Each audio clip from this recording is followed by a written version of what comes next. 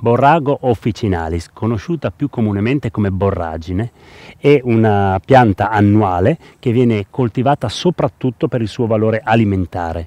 Raggiunge un'altezza di 80 cm ed ha un portamento ehm, eretto con delle foglie ovate e ellittiche che eh, hanno un colore verde scuro e sono ricoperte da una eh, tomentosità che quando la foglia diventa grande addirittura quasi pungente.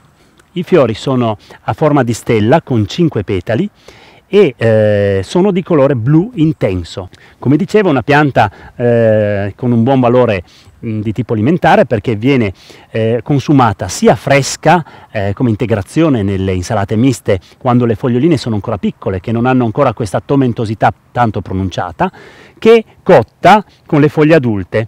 Eh, le foglie lessate possono diventare un ingrediente per tortini, per ripieni e si possono co eh, consumare come gli spinaci. È una pianta molto interessante perché il sapore è molto buono ma negli ultimi anni ricerche fatte sul, mh, mm, sui semi di questa pianta hanno scoperto che contiene degli acidi grassi polinsaturi molto utili per integrare la nostra dieta che spesso ne è povera. Dunque l'olio estratto eh, a freddo dai semi di borragine è eh, un toccasana per la nostra salute, dunque se ne fanno anche degli usi fitoterapici come integratori alimentari per migliorare la nostra qualità della vita.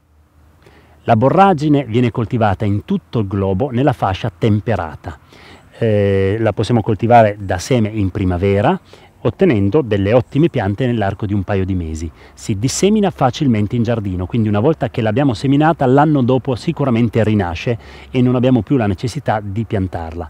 Viene utilizzata non solo eh, come pianta officinale o pianta alimentare, ma anche a scopo mh, proprio floreale.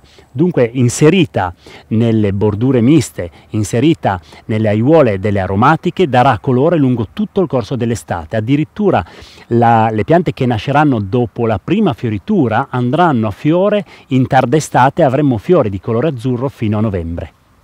È una pianta molto interessante da rivalutare e da inserire all'interno del proprio giardino.